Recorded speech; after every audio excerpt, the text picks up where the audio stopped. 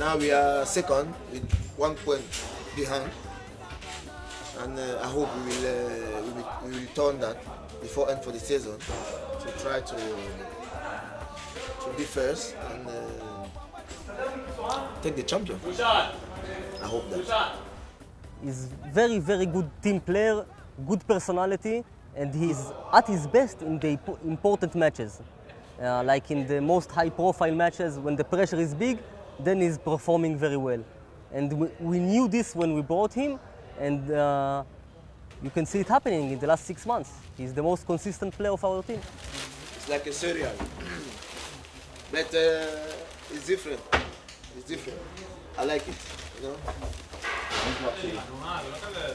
What you don't bring? You forget every day. You forget. Every, no, no, no. Every day. No, no, no. Every day. Every day. You say you forget. You never buy, eh? Uh, Next time it's my turn. next time, yeah. Okay, thank you. You know, you have a short pocket and big hand, yeah. Every day you say, yeah, tomorrow I bring, I bring tomorrow, I bring tomorrow. Now, you were sitting there waiting for, you know. Good for your milk, you see? Thank you. Toda, Shiri. Toda, Toda. 24 years, very good player, defender, you know. But uh, sometimes you cry, you know. He has great character. He's great in the dressing room. He connects the team. He's, he's a real leader. He's someone that the other players look to to see what he's saying. He, is, he has very, very good character. He's a clever, clever guy, hard worker. Uh, I think he's, in terms of personality, superb. This is my best friend, Bueno. Bueno, come. This is a, is a man who, you know, the, all the equipment. You see, Bueno, Eli Bueno. so when I traveled back to, to my country, he gave me some, you know, some stuff for friend there, for people there, for kids.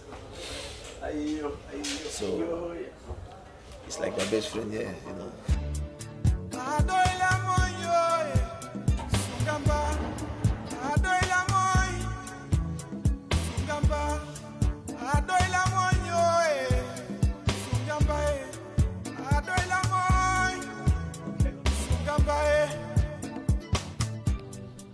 I remember that time when I was uh, very, very young, you know, 9, 11, 10 years, playing in the street with all my friends, you know, without shoes, many, many injury. And uh, in the night when you, when you need to come back home, you're afraid because your dad, he will give you a good punch because for all day you just keeping playing football in the street and uh, the car they are driving everywhere. You can you know you can lose your life. But uh, i remember all that time and uh, today you know when i i see everything i got from god i just say thank you for him. Football is a men's sport is the biggest one in Africa, and I think one of the biggest in the world. And you know the everybody there in Cameroon, especially, they are dreaming to be like a, a big football player, a big star, you know, scoring many goals, and uh, you know that's why there you can see everywhere in all Africa, you can see in the street, kids they are playing football everywhere. I remember that time. I want more. I want to be a football player because uh, people they was telling my father, my mom, now she dead, she are not there, telling them, oh, your your son have this, your son have that, this trick. He can be a, a good footballer, you know. And uh, but my fa- but my father, he was like, uh, you know, going to the school, going to the school, going to the school. But in fact, I did it. My dream come true. You need to have a little bit luck because we are too many. We are too many in this world want to play football. And everybody cannot be a football player, you know. To be fair, my first jerseys, my first shirt, my dad, he bought me. It was uh, number seven, Eric Cantona. I remember that time. red shirt with sharp, yeah, yeah, it was that. And uh, in Cameroon, everybody called me Cantona because uh, from from my nickname, you know, Eric. So everybody called me Cantona.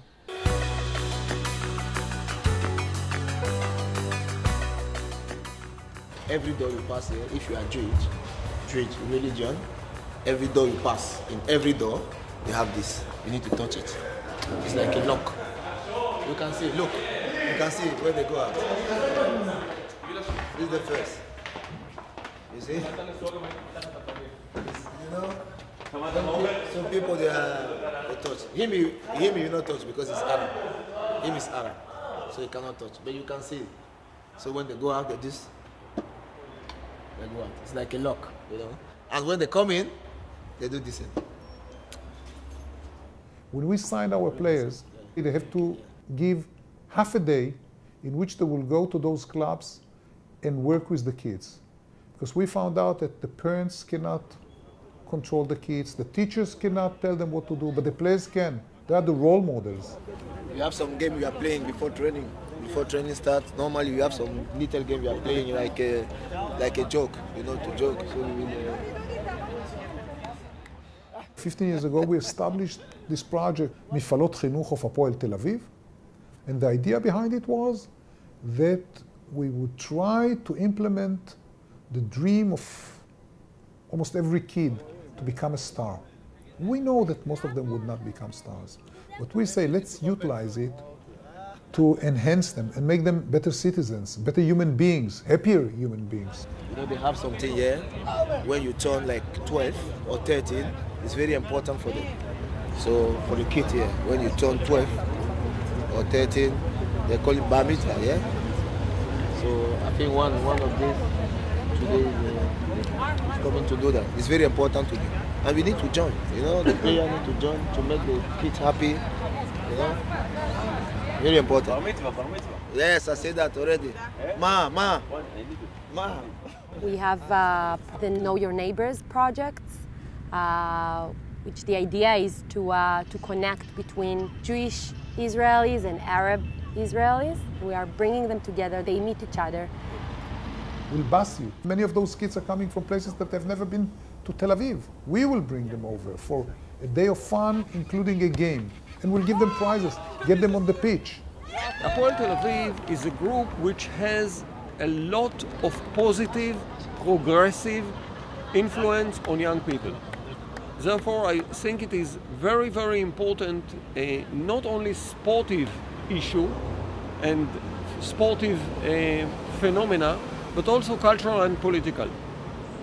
I think that when, when you work with children and not with uh, politicians, you can make the biggest changes, starting from the bottom. And uh, by knowing each other by name and uh, uh, by speaking about what you are doing in your daily schedule and uh, by playing football together and, uh, and laughing together and doing things together, then those children are going back home to their families and their neighborhoods and their schools and they say okay I, I know one israeli one jewish person that is he's nice he's nice he's not that bad i can i can speak to him i play football with him we laugh together we, we are friends This is the part of education that is better than any explanation, wording, writing, whatever. This is feeling. With us, this is the nature of the club. This is, uh, you know, after, after training, you know, after this, we're a little bit tired, but it's, uh, it's important, and I enjoy doing that for them. So, At the beginning, many of our players see it as, as a burden. They like it, but they don't like the fact that it's a routine that they have to, to give so much time. But when you speak to them after a year or two after they've been doing it, all of them are saying that those are, in many cases, the most remarkable hours that they had in their service in the club. In that age of 40 years old, I think I will be in my country. Maybe to try to be a coach in Cameroon, maybe academy, but I can see myself like a, a younger coach, you know, to try to learn to the youngest how to, you know, to give a pass, how to play football, how to come back to the position, how to behave in the pitch, how to behave with the referee because it's very important I prefer that than to be a coach because I'm very, very close with the kids. I like it. I like when they are, when they are happy, when I can see happiness on their face.